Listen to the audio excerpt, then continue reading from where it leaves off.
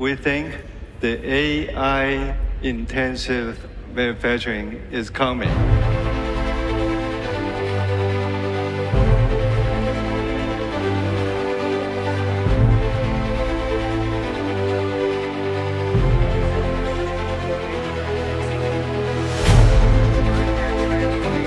We have Young Liu, Chairman and CEO at Foxconn. Based on our experience in terms of uh, the level of AI intelligence for the manufacturing, we found there are three levels of intelligence. Level one is for the uh, simple and fixed operations.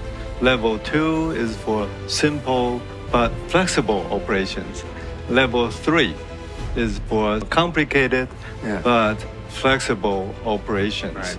Now, with these three levels of uh, uh, intelligence, it requires large compute power to do the training and the inferencing.